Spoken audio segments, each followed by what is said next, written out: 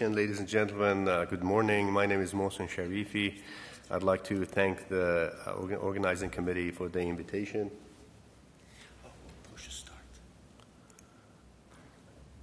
And despite my uh, efforts to the contrary, I have yet to be able to secure some conflict of interest, but it hasn't happened. Um, the talk is whether does catheter-directed thrombolysis for DVT indeed uh, prevents post-thrombotic, uh, post-thrombotic syndrome. Let's look at the data. Well, I'll be talking about initially the changes in the guidelines, the older and recent studies, the ATTRACT results that so far has been on the internet, but the actual results are still pending, ongoing studies, and my personal uh, recommendations. If you look at the chest guidelines, the new one in 2016 with the update, there were 54 recommendations in 30 statements, 20 of them were strong, but none of them was based on high quality uh, evidence. To our field, what was important was that the new oral anticoagulants are superior to warfarin for initial and long term treatment of venous thromboembolic disease. Also, the fact that compression stockings uh, to prevent post thrombotic syndrome was refuted. This was based on the SOX trial demonstrating no benefit of the compression stockings as far as occurrence of venous ulcers, rate of uh, uh, recurrent of venous thromboembolism, uh, reflux, and uh, also quality of life. I tend to disagree because I've realized once the patients get the compression stockings, they actually feel better. But this is what the uh, SOX data was, and uh, based on that, in patients with acute DVT of the leg, we suggest not using compression stockings. Also, the new thing uh, was that for isolated subsegmental pulmonary embolism, based on the patient's characteristics, you can, you, you can uh, choose to anticoagulate or not anticoagulate. As far as percutaneous endovenous intervention or PEVI, which is a broad term, there has been a really big roller coaster changes within the last uh, uh, nine to ten years.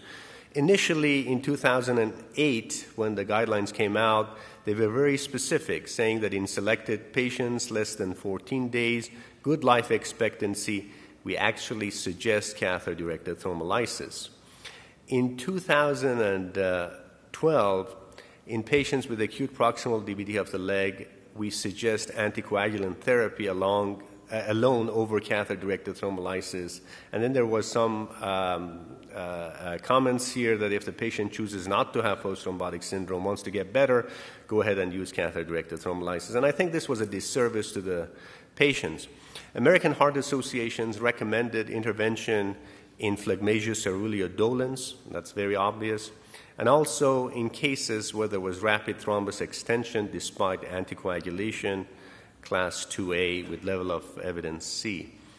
Uh, Society for Vascular Surgery and American Venous Forum also echoed the 2008 uh, recommendations for acute DVT, low risk of bleeding, that intervention uh, be considered. Same for Society for Interventional uh, Radiology in their guidelines in 2009. But what do we know about the natural history of iliofemoral DVT? We know there is venous ulceration up to 15%, venous claudication can occur in a high number of patients. Venous, so is venous insufficiency and post thrombotic syndrome around 50%. The goals of treatment uh, are a lot, and we have not been able to show that we can be successful with intervention in all of them. DVT expansion we know can happen, decrease in pulmonary embolism and subsequent early mortality, reduction of PTS, reduction of chronic thromboembolic pulmonary hypertension, better quality of life, venous patency, less reflux, less long term recurrence of venous thromboembolic disease, and less long term mortality. The data about PTS is clear from the past. We know anywhere between 23 to 50 percent. Uh, PTS happens in uh, two years. This is based on more older data.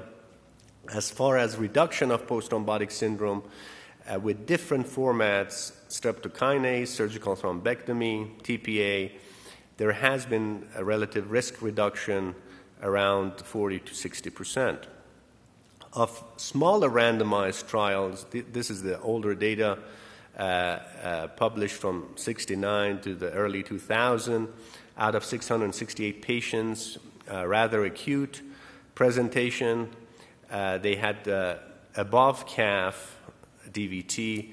They looked at early. Early was up to one month, and late, this is really not late, but up to six months. Uh, and they looked at patients receiving streptokinase, urokinase, and TPA. The summary of the results was uh, clot lysis was better, PTS was shown to be reduced, venous patency at least early stage was better, at the risk of higher risk of bleeding. A more recent meta-analysis uh, of select uh, uh, papers demonstrated across the board post thrombotic syndrome was less, venous reflux was re- less, and venous obstruction was less. In our uh, data, the torpedo trial, uh, at both six months and at 30 months, recurrence of VTE was less and post thrombotic syndrome was less. We had a separate definition than the Villalta score, so that was one criticism to us. Also, the secondary uh, um, endpoints, bleeding, was not significant, hospital stay was far less, and the patients actually felt a lot better. In the CAVENT data, the CAVENT was uh, uh, reported six months, 24 months, and five year data. Uh, recurrence of VT in the six months was not reported.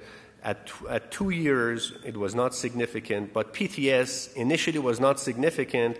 At two years, was quite significant. At five years, PTS was significantly different, but in both groups they had a high number of PTS, and we can get that at a later stage.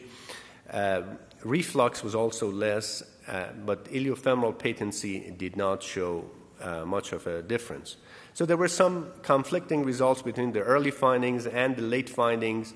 Um, it's written here, but again, in PTS was shown to be um, reduced at five years. And number to treat for uh, at five years was only four.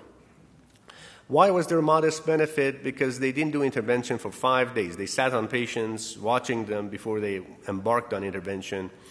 Uh, they withheld anticoagulation for eight hours and until the INR dropped to less than 1.5. You really don't need to let the INR drop when doing venous interventions.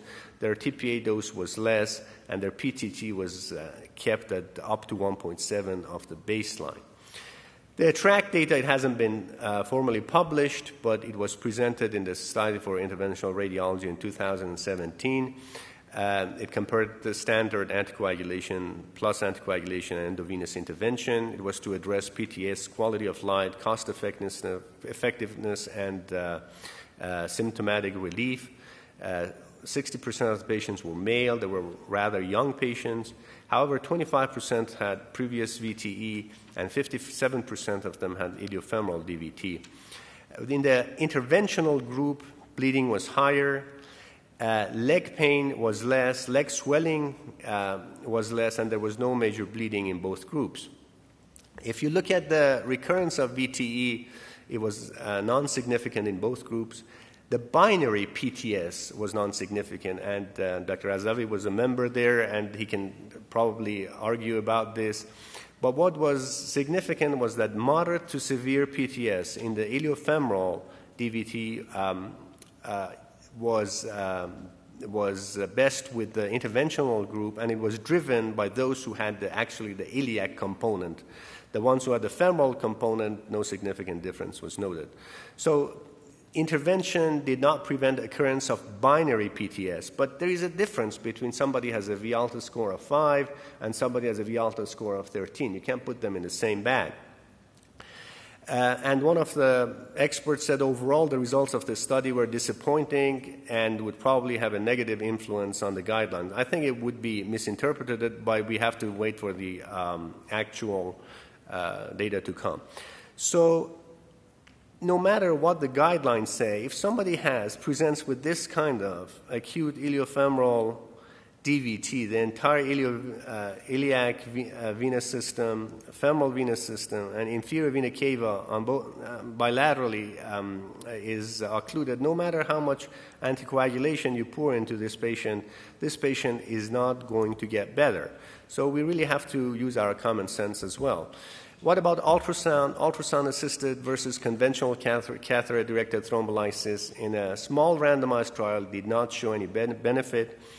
Um, again, comparison between the two in the uh, uh, uh, peripheral circulation is low. Um, it's not extensively written. There is another trial ongoing, access PTS in the chronic uh, DVT um, uh, patients. There's also a Dutch CAVA trial, which is ongoing. 180 patients have been randomized. This is for acute DVT, and the results would prob- the study would finish in December, and hopefully it would shed more light on this concept.